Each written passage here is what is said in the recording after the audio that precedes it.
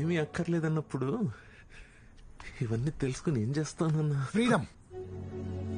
నిన్ను ఇంప్రెస్ చేయక్కర్లేదనే ఫ్రీడమ్ చిన్నప్పటి నుంచి ఎలా ఉంటే మా నాన్నకు నచ్చుతానని తెగే